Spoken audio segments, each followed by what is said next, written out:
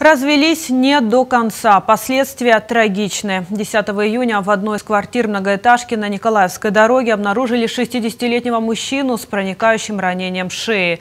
Полицейские выяснили, что покойника ударила ножом бывшая жена. По словам женщины, после развода они с мужем не разъехались. Отношения между ними были плохие, поэтому и ссорились. Полицейские изъяли нож и другие вещественные доказательства, которые направили на экспертизу. За умышленное убийство женщине грозит от 7 до 15 лет лишения свободи.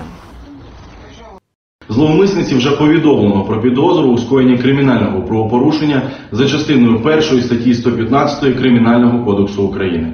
До обрання запобіжного заходу підозрювану затримано в порядку статті 208 Кримінального процесуального кодексу України.